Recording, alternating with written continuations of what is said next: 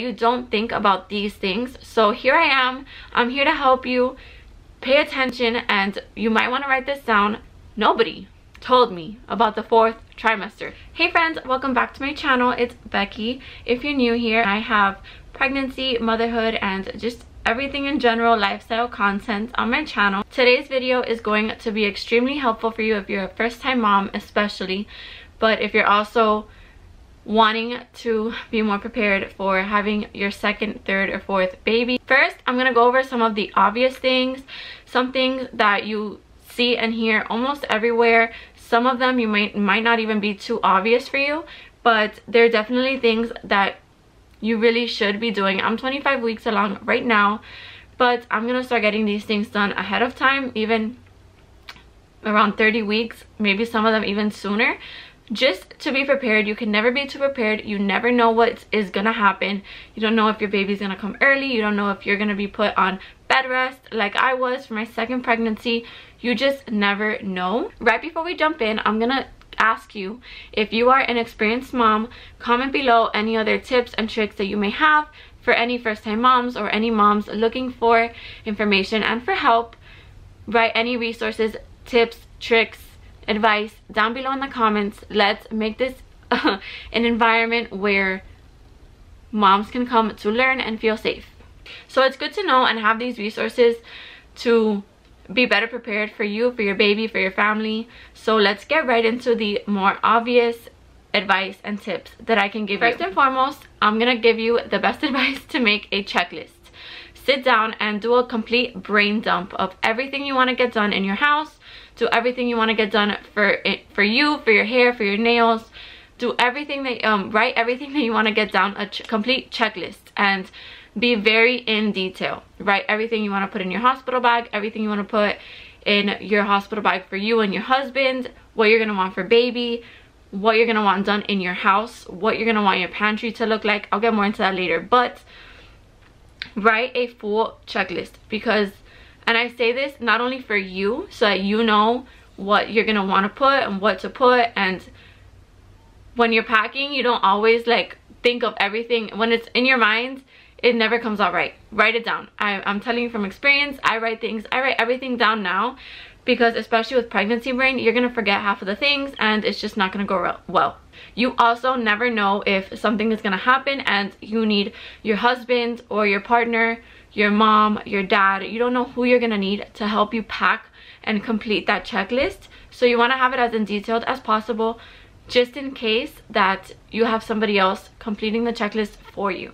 My second obvious tip is going to be just pack your hospital bag ahead of time pack your baby's bag just pack general things that you know that you don't have to wait last minute to pack because those last weeks yes they take long in general but things tend to happen very, very quickly. I walked into my second daughter's 39 week appointment and right then and there they sent me straight to the hospital.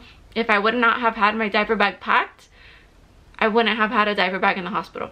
So pack your bag, pack your husband's bag, pack your your baby's bag, pack just things that you know you're gonna need. A toothpaste, uh, an extra little toothpaste, an extra toothbrush, pack some toiletries, pack an outfit or two for each of you, pack for the baby, just general items that you're not going to be using from now until when you give birth so that it makes it so much easier on you when you have such a big belly and when you have so many other things going on like us moms do. Also, think about your birth plan. What are you going to do if you're a mom that already has other children? Where are they going to go? Who are they going to be with? What are they going to need? Pack their bags, pack their snacks if you can ahead of time pack everything, have it ready in a corner with some toys, just so that when it's go time, you don't have to think about it in that moment. If your water breaks, you can just say, okay, their bag is right there in a corner of their room. All that I need to do is grab it, get it in the car, and go.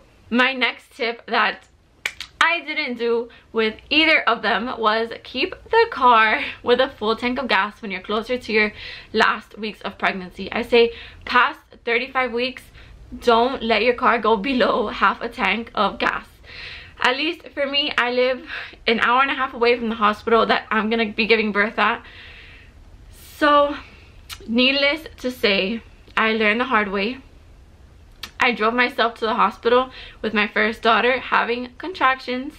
So I will, I, I, I'm like a complete believer in this. Have a full tank of gas. Just have it ready, ready to go. One thing less that you're to have to do in that moment because we all know when it rains, it pours. And if you are in the car giving birth and in labor, you're not to want to stop for gas. And it's just one more thing that you're to have to do that you could have already avoided. Okay, this is something that you can do very simple, very easily. It takes five minutes when you're around around where I am, I have to do this. When you're around 25 weeks or before 30 weeks at least, register for your hospital, get all your information there and going because you don't want to be in labor having to write all this information, registering for the hospital when you can just have it said and done way ahead of time. It's one of the first things to get done on a checklist.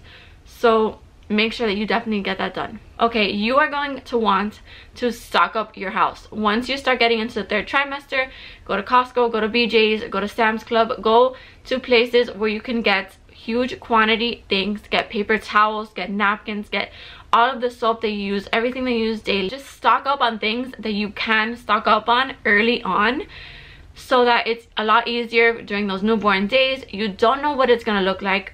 With my second daughter, I was not able to go anywhere for a very long time. She had horrible reflux. Also, get your house cleaned. You're going to be nesting.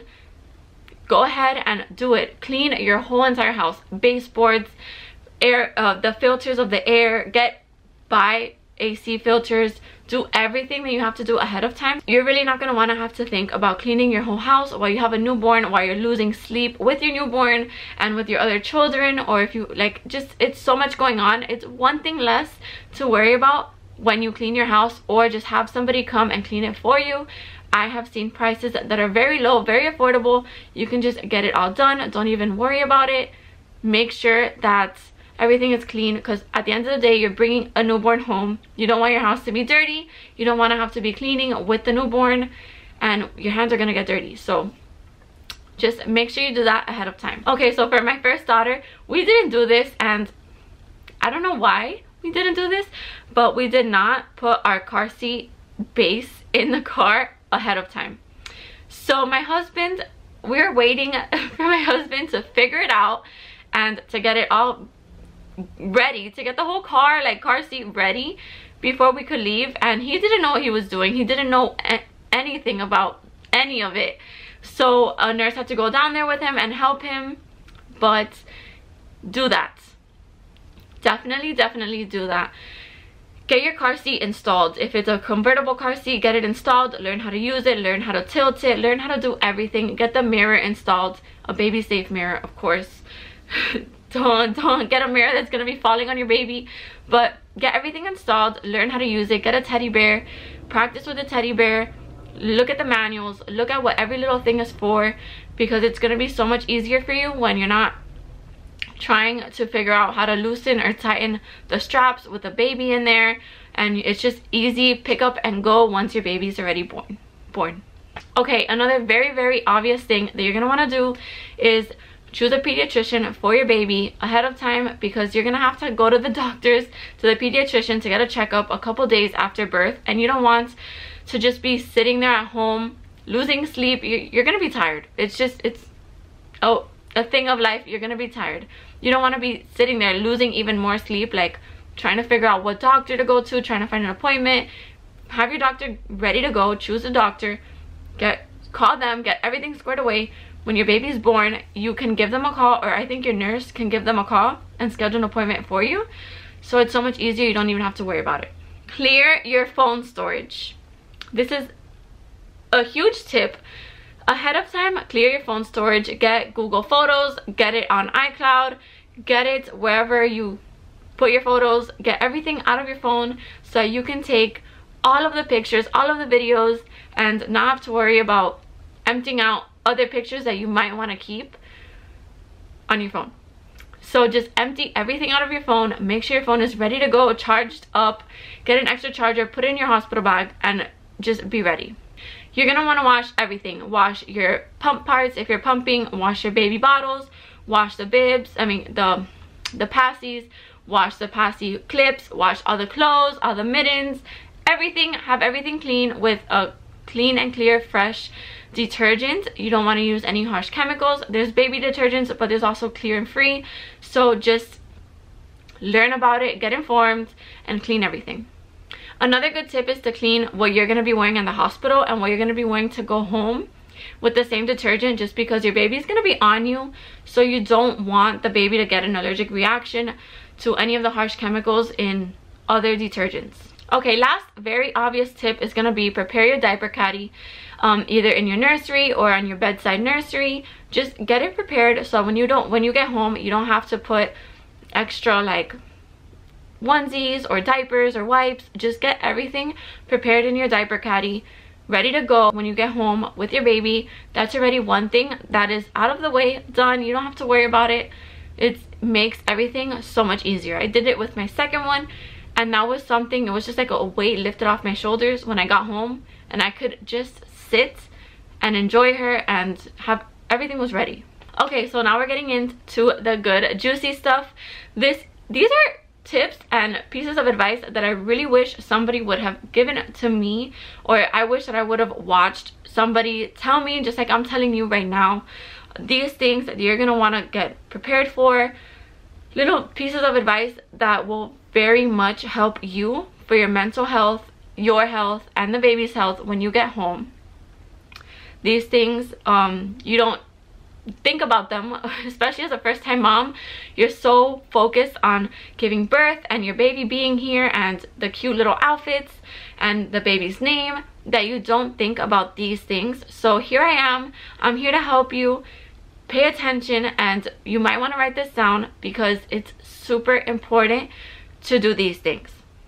Okay everybody tells you that when you get home your baby is gonna sleep and sleep and sleep. But from from me i didn't know this was my first or my second. With my uh, once you have your first you kind of start learning trial and error but learn the baby's sleep needs. There's a class that you can take. It's not sleep training. It's nothing like that.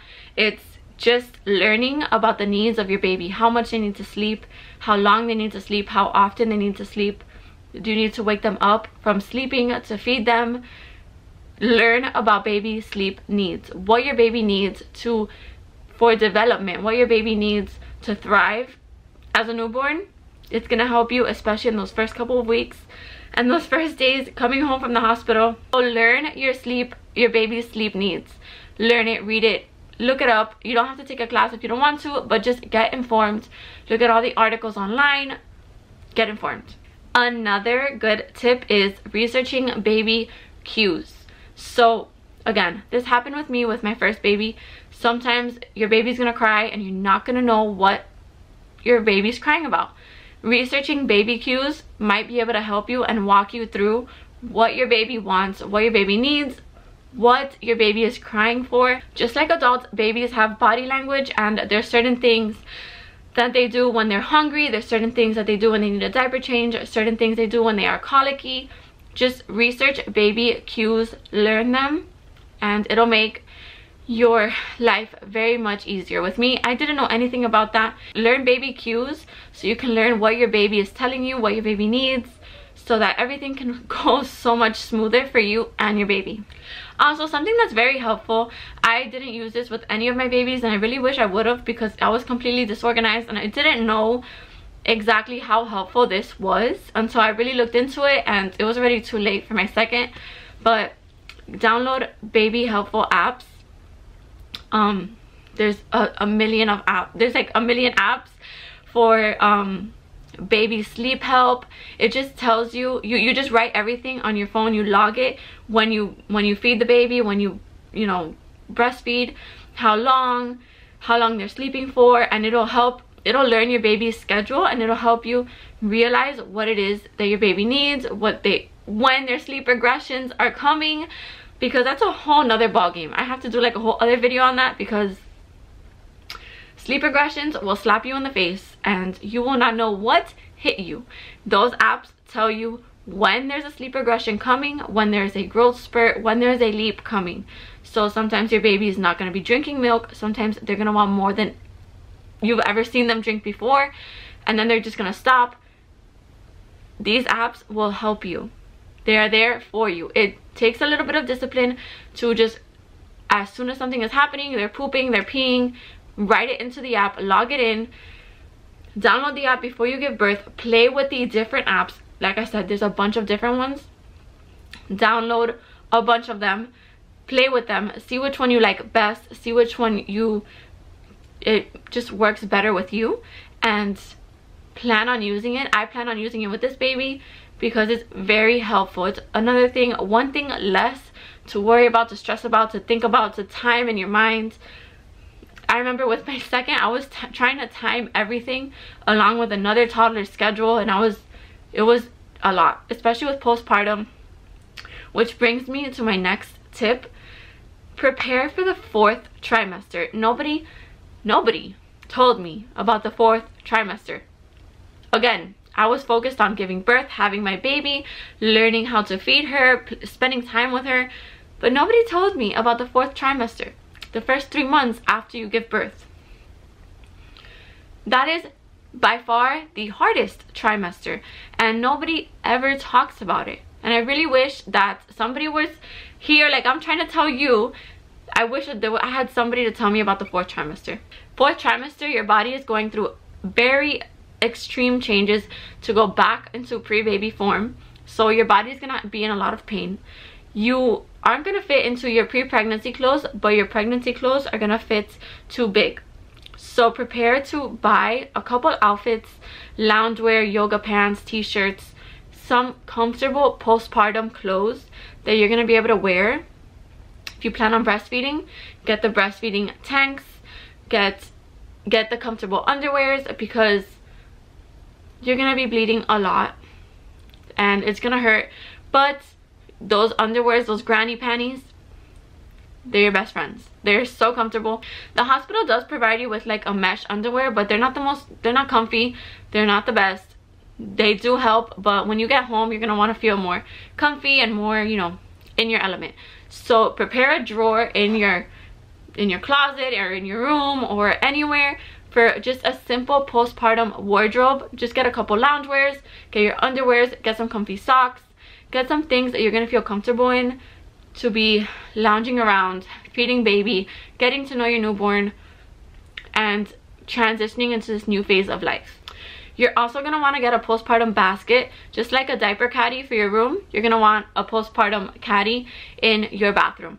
I'll have another video posted soon about everything that you should have in a diaper caddy, but it becomes very helpful when you plan ahead you have it stocked up so when you get home you're not looking for everything the boxes aren't everywhere you know you're not in a rush you can just have it ready and have it there ready for you to use ready for your ease ready to help you because it's not easy. If you do plan to breastfeed be prepared. Learn about how often your baby should be feeding how often you should pump how much they should be feeding. Get yourself informed get yourself prepared. If your baby is born with a tongue and lip tie if they're born and you have latching issues and in the case of any of those things happening you know different techniques to use you don't have to wait for the lactation consultant. You don't have to supplement right then and there with a bottle. You can help yourself and help your baby without anybody trying to intervene. Obviously they're there to help but it's better when you're informed and you know exactly what you're walking into because things happen. My first latched instantly. She was born and went straight to the boob my second i needed help. I didn't know how to latch her. She it just wasn't working naturally. So get yourself informed even if you don't plan on breastfeeding sometimes you give birth and this motherly instinct occurs and you want to breastfeed so in that case you are already informed if that happens to you. Also, if you do plan on breastfeeding, do your research on formula. I know you plan on breastfeeding.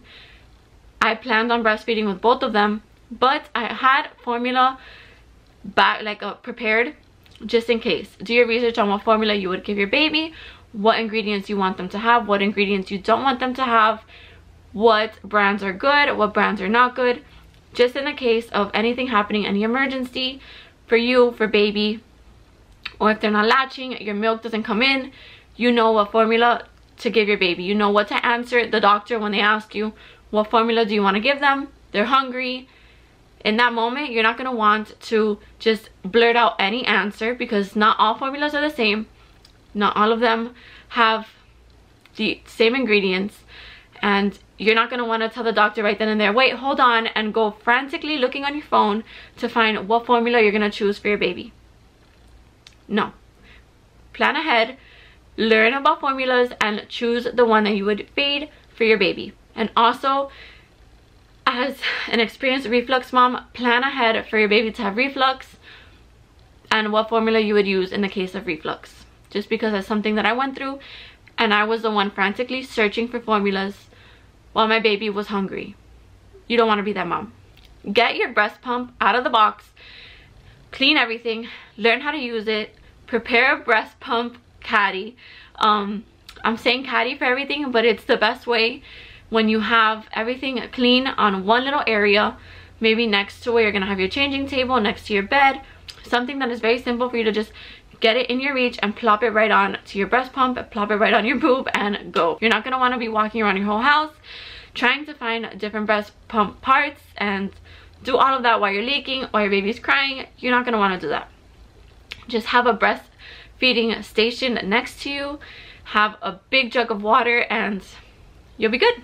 I hope you guys enjoyed my video. I hope I helped quite a few of you out. I wish that there was somebody that would have told me all of these things and that's why I'm offering it to you because this information is very, very much, very much needed. Especially for me, I wish I would have had it.